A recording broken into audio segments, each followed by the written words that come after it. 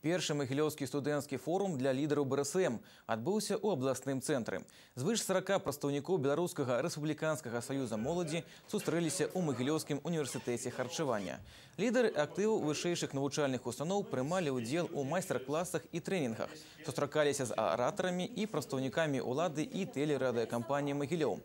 Амбіцыёзныя і смелыя. Для іх такая сустрэча магчымасць атрымаць карысную інфармацыю, а таксама вопыт у каардынацыі студэнтаў, арганізацыі мерапрыемстваў і рабоце з аўдыторыяй.